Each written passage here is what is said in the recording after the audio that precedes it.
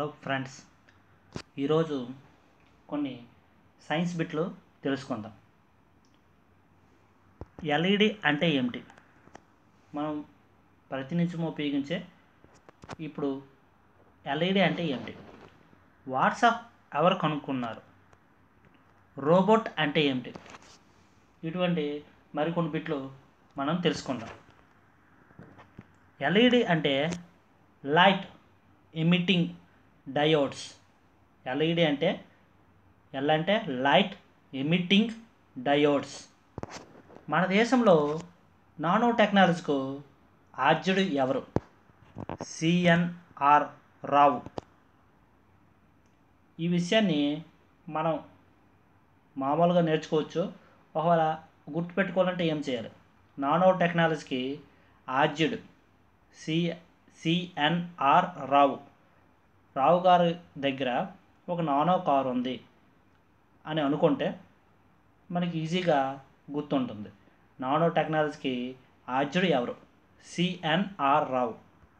Robot అనే పదము ఒక చెక్ భాషా పదం. రోబోట్ అనే పదానికి అర్థం బానిస. రోబోట్ అనే పదము చెక్ భాషా పదం. దీన్ని మనం గుర్తుపెట్టుకోవాలి ఎలా అంటే మన మైండ్లో ఏవైనా కొత్త విషయం నేర్చుకునేటప్పుడు అప్పటి వరకు ఉన్న పాత విషయాలతో అది లింక్ అవుతుంది. మనం ఏ విషయం నేర్చుకోవాలని మన జీవితంలో చూసే ప్రతి విషయం కూడా మన మైండ్లో ఆల్రెడీ ఉండే పాత విషయాలతో లింక్ అవుతుంది. మన అదేవిధంగా ఇప్పుడు రోబోట్ అనే భాషా పదము చెక్ భాషా పదం దీన్ని ఎలా గుర్తుపెట్టుకోవాలంటే రోబోట్ని మొట్టమొదటిగా రో రోబోట్స్ని చెక్కతో చేసేవాళ్ళు అని అనుకుంటే రోబోట్ అనే పదము ఏ భాషా పదం? ఒక చెక్ భాషా పదం. మనం తయారు చేసే రోబోట్లు ఎలా ఉండాలి? మనకు బానిసగా ఉండాలి. కాబట్టి రోబోట్ అనే పదానికి అర్థం ఏంటంటే బానిస. మన సెల్ ఫోన్స్ ఇప్పుడు మన ఆండ్రాయిడ్స్ మొబైల్స్ ఉపయోగిస్తాం. అసలు ఆండ్రాయిడ్స్ అంటే ఏమిటి? ఆండ్రాయిడ్ మొబైల్ ఓపెన్ చేయగానే మనకి ఒక రోబో బొమ్మ మనిషి ఆకారంలో నుండి రోబో బొమ్మ కనిపిస్తుంది. అచ్చం మనిషిలాగే కనిపించే హోమనాయిడ్ రోబోట్స్ను ఆండ్రాయిడ్స్ అంటారు. ఆండ్రాయిడ్స్ అంటే ఏమిటంటే అచ్చం మనిషిలాగే కనిపించే హోమనాయిడ్ రోబోట్లను ఆండ్రాయిడ్స్ అంటారు. అయితే ఈ రోబోట్స్ తీసుకుంటే టిప్ సుల్తాన్ దగ్గర ఒక రోబోటిక్ పులి ఉండేదట. కలపతో చేసిన తయారు చేసిన ఒక రోబోటిక్ పులి ఉండేదట. ప్రపంచంలో అత్యధిక రోబోట్లను నిర్మిస్తున్న దేశం ఏది? జపాన్. అయితే దీన్ని మామూలుగా మనం ఈజీగా నేర్చుకోవచ్చు. మనం ఏవైనా విషయాన్ని కోర్స్తో నేర్చుకోవాలి అనుకో అనుకునే వాళ్ళ కోసము ఇది అలా గుర్తుపెట్టుకోవాలని మీకు చెప్తాను. ప్రపంచంలో అత్యధిక రోబోట్లు నిర్మిస్తున్న దేశం జపాన్. జపాన్ అనగానే మనం ఏ విషయం గుర్తుపెట్టుకోవాలన్నా సరే ఆ విషయాన్ని మనం కనిపించే విషయంగా మార్చుకోవాలి. జపాన్ అంటే మనకి జపాన్ అనగానే మన మైండ్లో ఎటువంటి చిత్రం మనకు కనిపించదు. కాబట్టి మనం ఏం చేయాలంటే జపాన్కి సంబంధించిన ఒక ముహూర్త భావన మనము ఏర్పాటు చేసుకోవాలి. జపాన్ అనే పదాన్ని జఫా అని అనుకోవాలి. జఫా అంటే మనకి ఈజీగా గుర్తుంటుంది. జఫా అంటే బ్రహ్మానందం అనుకోవచ్చు. కాబట్టి బ్రహ్మానందము ఎక్కువగా రోబోస్ తయారు చేస్తున్నాడు. అని అనుకుంటే ప్రపంచంలో అత్యధిక రోబోట్లు నిర్మిస్తున్న దేశం ఏదంటే జపాన్. సీడీలో ఎలక్ట్రోమాగ్నెటిక్ టెక్నాలజీని వాడతారు. మన సీడీలో ఉపయోగించే టెక్నాలజీ ఏంటంటే ఎలక్ట్రో మ్యాగ్నెటిక్ టెక్నాలజీ. యూఎస్బి అంటే ఏమిటి? Universal serial bus USB USB అంటే యూఎస్ బస్సు అనుకోవచ్చు. US bus America bus America బస్సులో ఏంటంటే ఒక సీరియల్ వేస్తారు. Universal serial. అంటే యూనివర్సల్ విశ్వంలో ఉండే వాళ్ళందరూ చూడదగిన సీరియల్ వేస్తారు. కాబట్టి యూఎస్బి అంటే యూఎస్ అంటే అమెరికా బస్సు అనుకుంటే యూనివర్సల్ సీరియల్ బస్ వాట్సాప్ను కనుగొన్నది ఎవరు? జాన్ కొవ్వం కొవ్వం జాన్ కొవ్వం అయితే దీన్ని గుర్తుపెట్టుకోవడానికి ఏం చేయాలంటే కవ్వం కవ్వం అని ఉంది కదండి.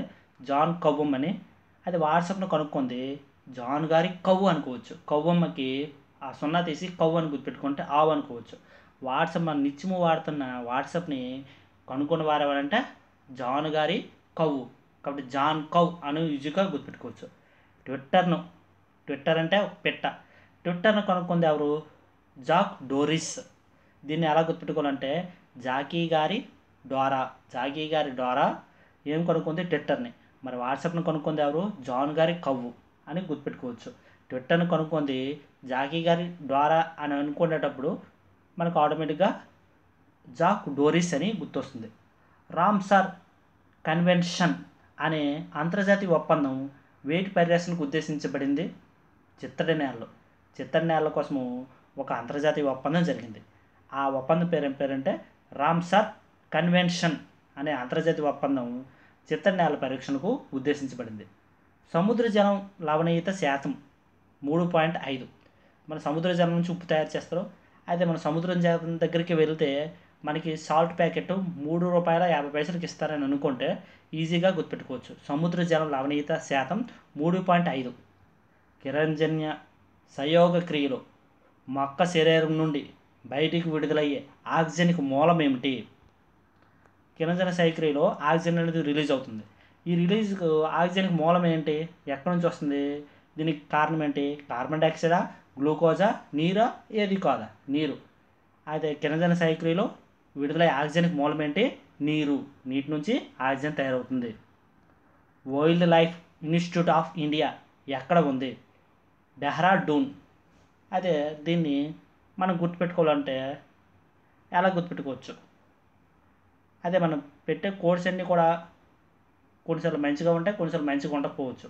Oil life institute of India అంటే ఓయిల్ లైఫ్ అంటే జంతువుల జీవితం. జంతువుల జీవితం కోసం ఒక ఇన్స్టిట్యూట్ ఎక్కడ ఉంది? డెహ్రాడూన్ అయితే జంతువుల లైఫ్ కోసం సంబంధించిన ఇన్స్టిట్యూట్లో అన్నీ అక్కడ ఉండే హౌసెస్ ఎలా ఉంటాయంటే ఆ ఇన్స్టిట్యూట్ ఎలా ఉంటుంది? డేరాలతో నిర్మించబడి ఉంటుంది. అనుకుంటే డేరాలతో హౌసెస్ ఉంటాయి. కాబట్టి డెహ్రాడూన్ అంటే డేరాడూన్ డెహ్రాడూన్. పులి సంరక్షణకు ఉద్దేశించిన ప్రాజెక్ట్ టైగర్ ఎప్పుడు ప్రారంభమైంది? పంతొమ్మిది వందల డెబ్బై మూడు ఏప్రిల్ ఒకటిన స్టార్ట్ అయింది. వన్యప్రాణుల పరిరక్షణ చట్టం ఎప్పుడు అమల్లోకి వచ్చింది?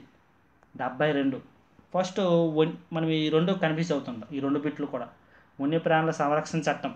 వన్యప్రాణుల సంరక్షణ చట్టం డెబ్బై రెండులో వచ్చిన తర్వాత ప్రాజెక్ట్ టైగర్ స్టార్ట్ చేశారు డెబ్బై మూడులో అని అనుకోవచ్చు. మన దేశంలో ఏ ప్రాంతంలో రెడ్ పాండా కనిపిస్తుంది? హిమాలయాల్లో. మనం హిమాలయాలు అంటే ఐస్ కొండలకు వెళ్తే మనకు అక్కడ రెడ్ పాండా కనిపిస్తూ ఉంది. హిమాలయాలు అంటే హిమక్రిము అనుకోవచ్చు. అంటే అక్కడ ఐస్ రెడ్ ఐస్ దొరుకుతుంది అనుకోవచ్చు. ప్రపంచంలో అత్యధిక జీవ వైవిధ్యం ఉన్న దేశం ఏది? ఆస్ట్రేలియా. దీన్ని మనం గుర్తుపెట్టుకోవడం కోసం ఏంటనుకోవాలంటే జీవ వైవిధ్యం. ఆస్ట్రేలియాలో కంగారస్ ఉంటాయి. ప్రపంచంలో ఎక్కడ కూడా కంగారు ఉండదు ఒక ఆస్ట్రేలియా ఉంటుంది. అలా జీవ వైవిధ్యం అంటే డిఫరెంట్ డిఫరెంట్ జీవులు ఉండే ప్రదేశం. ఆ విధంగా అత్యధిక జీవ వైవిధ్యం ఎక్కడ ఉంటుందంటే ఆస్ట్రేలియాలో. పిన్ వ్యాలీ నేషనల్ పార్క్ ఏ రాష్ట్రం ఉంది? హిమాచల్ ప్రదేశ్. అయితే మనం ఏమైనా నేషనల్ పార్క్స్ నేర్చుకోవాలంటే మనం ఏంటంటే వాటిని బైహెడ్ చేయాలి లేకపోతే వాటిని కోడ్స్ పెట్టుకోవాలి. అయితే కోడ్స్ పెట్టడం ఎలా ఇక్కడ కోడ్స్ పెట్టడానికి Pin Valley valley national park. ఆ పార్కులో లోయ ఉంటుంది. వ్యాలీ అంటే లోయ. Pin Valley. పిన్ అంటే పిన్ అంటే ఏమిటి? పిన్స్. ఆ పిన్స్ పార్క్. ఎక్కడుంది?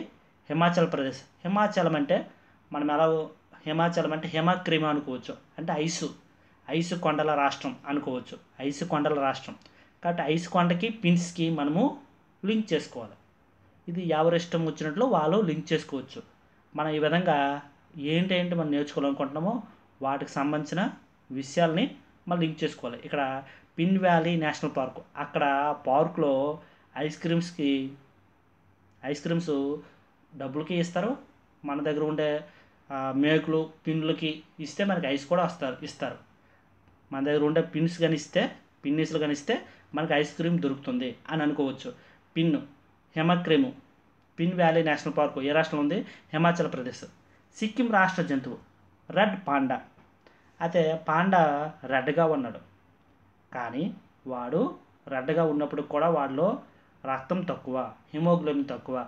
వా ఎందుకు కారణం ఏంటి? సిక్కిపోయి ఉన్నాడు. సిక్ అంటే అనారోగ్యంతో ఉన్నాడు. రెడ్ పాండా చూడడానికి రెడ్గా ఉన్నాడు కానీ వాడు అనారోగ్యంతో ఉన్నాడు సిక్తో ఉన్నాడు. కాబట్టి సిక్కిం రాష్ట్ర జంతువేటి రెడ్ పాండా. ఇడుక్కి అభయారణ్యం ఏ రాష్ట్రంలో ఉంది? కేరళ. దీన్ని ఎలా గుర్తుపెట్టుకోవాలంటే ఇడుక్కి. కేరళ కన్నా మనకి అయ్యప్ప స్వామి గుర్తొస్తాడు. అయ్యప్ప స్వామి అంటే ఇరు ఇరుముడి ఇస్తారు. స్వామిలో ఇరుముడిలో తీసుకెళ్తారు. కాబట్టి ఇరుముడు అనుకుంటే ఇడుక్కి. అభయాన్య అభయ అరణ్య పార్కు అభయారణ్యం ఏ రాష్ట్రం ఉంది? కేరళలో. గ్రేట్ హార్న్ బిల్ అనేది ఏ రాష్ట్రానికి చెందిన రాష్ట్రీయ పక్షి? గ్రేట్ హార్న్ బిల్ అనేది ఏ రాష్ట్రం చెందిన రాష్ట్రీయ పక్షి? కేరళ. అయితే దీన్ని గుర్తుపెట్టుకోవడానికి మీకు ఎలా గుర్తుపెట్టుకోవాలని మీకు చెప్తాను. వినండి. గ్రేట్ హార్న్ బిల్ దీన్ని ఎలా గుర్తుపెట్టుకుంటే great horn bell great horn bell మనం మోటార్ సైకిల్ మీద వెళ్ళేటప్పుడు బెల్ల వేయాలి. అక్కడ ఎలా ఉంది? గ్రేట్ హార్న్ బిల్కి బెల్ అని గుర్తుపెట్టుకోండి. గ్రేట్ హార్న్ బెల్ అయితే మనం బెల్ వేసేటప్పుడు అక్కడ సౌండ్ ఎలా వస్తుంది? క్యాక్ పెట్టినట్టుగా సౌండ్ వస్తుంది. క్యాక్ అంటే కేరళ. Great hornbill. అది గ్రేట్ హార్న్ వేస్తే మన సౌండ్ ఎలా వస్తుంది సౌండ్ క్యాక్ పెట్టినట్టుగా సౌండ్ వస్తుంది. గ్రేట్ హార్న్ బిల్ అనే పక్షి పక్షి హార్న్ ఎలా ఉంటుంది క్యాక్లేసినట్టుగా ఉంటుంది. కర్నూల్ రోల్ పాడ్ అభయారణ్యంలో సంరక్షించే ముఖ్య జంతువు బట్ట మేక పక్షి. ఇది అందరికీ తెలుసు. ఒకవేళ ఈ వీటిని తెలియనప్పుడు ఎలా గుర్తుంచుకోవాలని చూసుకుందాం. ఇందులో ఉండే ప్రతిది కూడా ప్రతి పదం కూడా మనకి కనిపించాలి. కర్నూలు అంటే మనకి కనిపించదు. కర్నూలు మ్యాప్ కనిపిస్తుంది కానీ కర్నూలుకి మనకి నిజంగా ఒక వస్తువులాగా కనబడాలి కర్నూలు అంటే కరుణాకి గుర్తుపెట్టుకోండి. రోల్పాడ్ అంటే కరుణ రోళ్ళ పని చేస్తుంది. అంటే కరుణ అనగా ఏం పని చేస్తుంది? రోళ్ళ పాడు అంటే రోలు పని చేస్తుంది. కరుణ కర్నూలు రోల్పాడు అభయారణ్యంలో సంరక్షించే ముఖ్య జంతువు. అయితే కరోనా ఏం చేస్తుందంటే రోళ్ళు తయారు చేస్తుంది. ఇంకో పని బట్టలు తయారు చేస్తుంది. ఇంకోటి మేకల్ని పెంచుతుంది. అని అనుకుంటే కరుణ చేసే పనులు ఏంటంటే కర్నూలులో రోల్ పాడనేది ఉంది. అందులో ముఖ్యమైన జంతువు బట్ట మేక పక్షి. వరల్డ్ హెర్త్ డే ఏప్రిల్ ఇరవై రెండు. World earth day earth day దీన్ని ఎలా గుర్తుకుంటే ఏప్ ఏప్రిల్ ఇరవై రెండులో ప్రస్తుతానికి ఇరవై రెండు తీసేసి ఇరవై రెండు విడిచిపెట్టేసి ఇది ఏ నెల వస్తుందో చూసుకుందాం. వరల్డ్ హెర్త్ డే అంటే భూమికి సంబంధించిన దినోత్సవం. భూమికి సంబంధించిన దినోత్సవం ఏప్రిల్లో ఏప్ అంటే ఏప్రిల్ అంటే ఏప్ అనుకోవచ్చు ఏప్ అనుకుంటే కోతులు. కోతులన్నీ కూడా చింపాంజీలు. ఇవన్నీ కూడా భూమి దినోత్సవం జరుపుతున్నాయి. భూమి మీద గెంతూ ఉన్నాయి. సిగరెట్ పొగలోని రేడియో ధార్మిక పదార్థం. పొగ. పొగలో ఏ పదార్థం ఉందంటే సిగరెట్ పొగలో పొలోనియం పొలోనియం పొగ పొలోనియం పో పో. సెంట్రల్ పొల్యూషన్ కంట్రోల్ బోర్డు ఎక్కడ ఉంది? న్యూఢిల్లీలో ఉంది. సెంట్రల్ పొల్యూషన్ కంట్రోల్ బోర్డు ఎక్కడ ఉంది? న్యూఢిల్లీలో ఉంది. ప్రపంచ చిత్రనేల దినోత్సవం దినం ఫిబ్రవరి రెండు. దీన్ని ఎలా గుర్తుపెట్టుకోవచ్చు? ఫిబ్రవరి దీన్ని ఫిబ్రవరికి ఒక ముహూర్త భావనకి ఎలా గుర్తుపెట్టుకోవచ్చు? స్ట్రాబెర్రీ అనుకోవచ్చు. స్ట్రాబెర్రీ చిత్రనేలలో స్ట్రాబెర్రీస్ బాగా పండుతాయి.